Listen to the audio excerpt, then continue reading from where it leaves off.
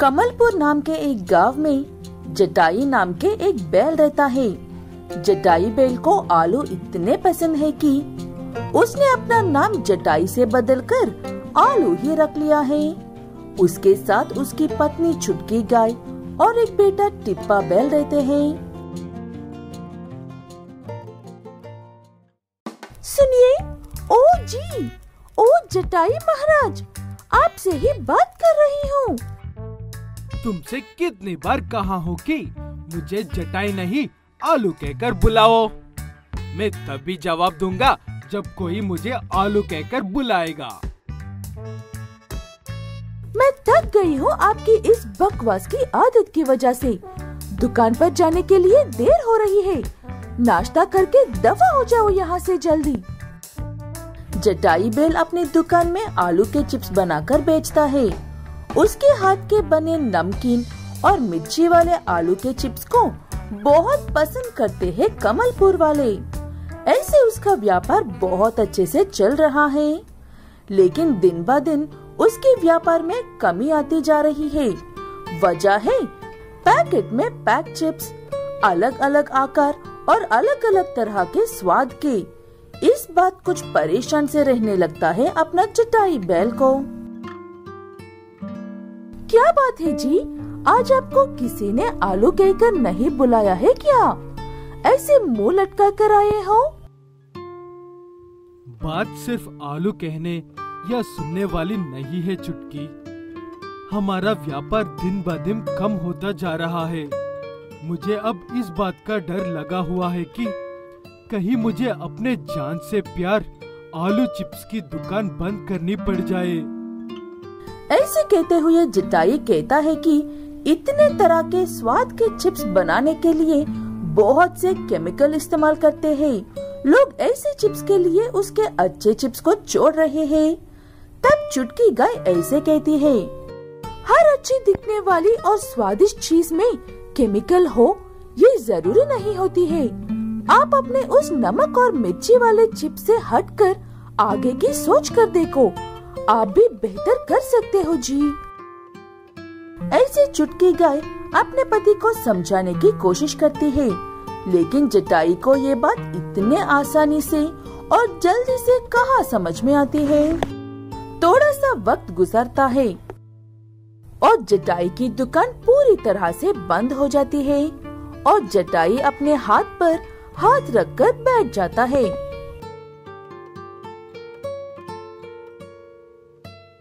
पिताजी, ऐसे गासुन की तरह बैठे रहने से कुछ नहीं होगा। मेरे पास एक बहुत ही अच्छा उपाय है, और उसे स्पाइरल पोटैटो कहते हैं। बच्चों में बहुत मशहूर है। आगे की जानकारी के लिए आपको भी दिलकब से दिखानी होगी। तब तक के लिए गुड बाय जटाई को अपने बेटे की बातों पर भरोसा नहीं था, इसलिए घर से बाहर निकलकर बच्चों से स्पाइरल पोटैटो के बारे में पूछता है। सभी बच्चे स्पाइरल पोटैटो का नाम सुनते ही एकदम से खुश होकर जटाई से ऐसे पूछते हैं, क्या आप भी वो स्पाइरल पोटैटो बनाने वाले हो, आलू अंकल? वाह, सुनकर ही मुँह में पानी आ रहा है। स्पाइरल पोटैटो बच्चों की बातों में इतनी खुशी देखकर जटाई बैल को अपने बेटे की बातों पर यकीन होता है और वह अपने बेटे से बात करने के लिए जाता है। मेरी कोई बात गलत लगी हो तो माफ़ कर देना बेटा। मैं ये बात अच्छे से समझ गया हूँ कि दुनिया बदल रही है और हर काम में ज़ोर का मुकाबला हो रहा है। इसीलिए मुझे जल्दी से स्पाइरल चिप्स के बारे में बता दे। है कहकर टिप्पा बेल अपने पिता को स्पाइरल पोटैटो चिप्स कैसे बनाते हैं कहकर विस्तार में बताता है। कहता है कि आलू को चिप्स की तरह ही काटना चाहिए, लेकिन उन्हें अलग अलग काटने के बजाय एक स्प्रिंग के आकार में काट कर उनमें एक लकड़ी लगाकर कट्टे, मीठे, नमकीन ऐसे हर तरह के स्वाद लगाकर अच्छे तेल में फ्राई करके बेचने को कहता है। पैकेट वाले चिप्स या तो कम आते हैं या फिर ज़्यादा दाम में आते हैं। आप एक आलू का स्पाइरल बनाकर दस रुपए में आराम से बेच सकते हो। ज़्यादा मुनाफे के लिए अपने ही खेत में 500 के बीज डालकर 500 किलो आलू उगा सकते हो। टीके कहकर जटाई बेल वैसे ही करता है और टिप्पा बैल भी अपने पिता की पूरी तरह मदद करता है।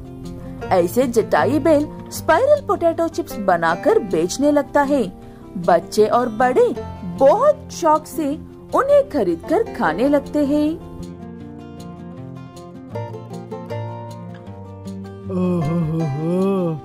इसे कहते हैं स्नैक्स क्या स्वाद है? खाने में भी आसान है। मज़ा ही आ गया है खाकर। बूढ़े दादा आपको तो दांत ही नहीं है। फिर आप कैसे खा रहे हो? इन्हें बिना दांतों से भी खा सकते हैं बच्चे। ऐसे जटाई बेल का व्यापार पहले की तरह अच्छे से चलने लगते हैं। जुमलापुर नाम के एक गाँव में कमला नाम की एक गाय अपने पति कमलेश और बेटे कमल के साथ रहती है। कमला का पति कमलेश बैल एक पोस्टमैन है। आसपास के दो चार गाँव तक वही चिट्ठियाँ पहुँचाने का काम करता है। थोड़ा सा तो खाकर जाइए जी। ऐसे ही बिना खाकर जाकर कब तक यूँ ही धूप में फिरते रहोगे? तुम चिंता मत करो कमला। आज बस्ते में सारे इसी गाँव के चिटिया है। जब भी भूख लगेगी जट से पहुँच जाऊँगा घर। ऐसे कहकर कमलेश बैल अपने काम पर चला जाता है और हर घर में चिट्ठियाँ पहुँचाने का काम करता है। ऐसे एक एक चिट्ठी देते हुए कमलेश बैल मोटी नाम के एक सुनार बैल के घर पहुँचता है। मोटी भैया जी आपके नाम की चिट्ठी आई है। जल्दी से आकर ले लो। मुझे और बहुत सी चिट्ठियाँ पहुँचना है। थोड़ा सा सबर कर लो कमलेश। तुम हर रोज थोड़ी ना आते हो मेरे घर। आओ बेटो मैं अभी गर्मा गर्म चाय बनाकर लेकर आता हूँ। कभी भी बात भी नहीं करने वाला मोटी अचानक से इतनी अच्छी तरह से बात कर रहा है और मना करने के बाद भी चाय पिला रहा है। इससे कमलेश समझ जाता है कि इससे कुछ तो करवाना है और कमलेश का डर सच भी होता है। मुझे ये बहुत अच्छे से पता है कमलेश। इस गाँव में बहुत से समझदार लोग हैं, लेकिन ईमानदार सिर्फ़ तुम ही हो। इसीलिए कल तुम जब अपने साथ चिट्ठियाँ लेकर जाओगे तब समय मेरा एक कीमती हार भी लेकर जाकर उस गाँव के एक व्यक्ति को देना। मैं सिर्फ़ तुम पर ही विश्वास कर सकता हूँ। ऐसे कहते हुए मोटी बेल कमलेश बैल को अपने साथ लेकर जाने के लिए मना लेते हैं। ठीक है कहकर उसकी बात मानकर कमलेश भी अपने घर लौट जाता है और तब अपनी पत्नी से ऐसे बात करता है, आप तो भूख लगते ही भागकर आने वाले थे ना? सुबह से दोपहर हो गई है आखिर आप अब तक क्या कर रहे थे? वो मोटी बाई नहीं है। वही सुनर मोटी बाई है। उन्हें मुझसे कुछ काम था इसीलिए देर हो गई है। ऐसे कमलेश अपनी पत्नी को सारी बात बताता है। वो सुनकर कमला भी चिंता करने लगती है। इतना कीमती सामान और लेकर जाना होता है जंगल के रास्ते से। और बहुत से चोर डाकुओं का खतरा होता है। उससे न हमें एक पैसा की कमाई होगी ना ही ये हमारा काम का हिस्सा है। अगर डाकुओं ने देख लिया तो जान का खतरा हो सकता है जी। कोई बड़ी बात नहीं है कमला। हर काम अपने स्वार्थ के लिए थोड़ी ना करते हैं। ऐसे कहते हुए अगले दिन कमलेश अपनी चिट्ठियों के साथ मोटी बेल के उस कीमती हार को भी अपने साथ लेकर जाता है। लेकिन कमलेश ये बात समझ नहीं पाता है कि उसकी पत्नी की कही हर बात सच होने वाली है। जंगल में थोड़ी दूर चलकर जाते ही कमलेश को कुछ डाकू रास्ते में रोक लेते हैं और उसे उसका चिट्ठियों का बस्ता खाली करके दिखाने को कहते हैं।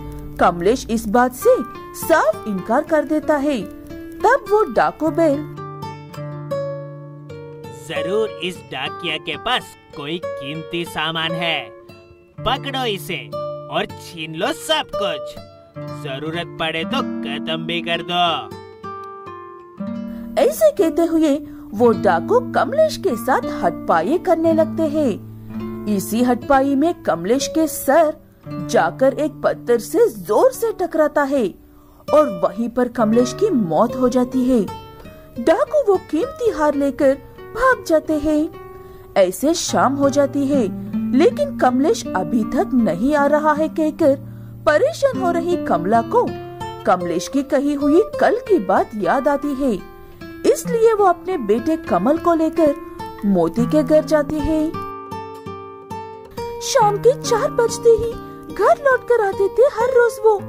आज इतनी देर होने पर भी नहीं आ रहे हैं। मुझे लगा आपके पास रुके हैं। नहीं नहीं कमला भाभी मैं खुद ही आपके घर आने वाला था। मेरा कीमती हार अभी तक नहीं पहुँचा है कहकर। मोती बैल की बातें सुनकर कमला गाय समझ जाती है कि उसे सिर्फ़ अपने कीमती हार की चिंता है। कमलेश की कोई फ़िक्र नहीं है। इसलिए कमला अपने बेटे को लेकर अकेले ही जंगल में चली जाती है। तब उसे कमलेश की लाश एक पेड़ के नीचे नज़र आती है।